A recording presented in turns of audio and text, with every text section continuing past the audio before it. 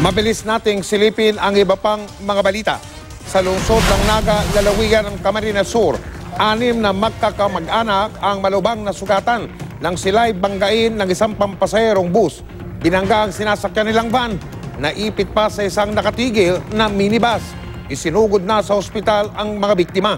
Hindi raw napansin ng bus driver ang van na wala raw tail light kung tawagin. Mat madilim daw dun sa lugar.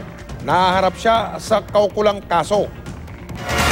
Nahuli kang sa Odyongan, Romblon ang isang rider na yan na may apat na angkas, kabilang ang dalawang bata. Tila dead mang makasakay ng scooter sa panganib. Mabilis na ang takbo nila sa highway kung wala pa silang helmet. Sa lungsod naman ng Baybay, lalawigan ng Leyte, patay ang isang rider matapos bumangga sa isa pang motorsiklo.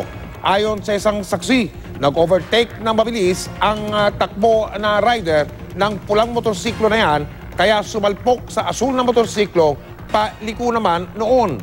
Bagamat naka-helmet, dead on the spot ang rider ng pulang motor na tumalsik at nahulog sa kanal. Sugatan naman ang dalawang sakay ng asul na motorsiklo.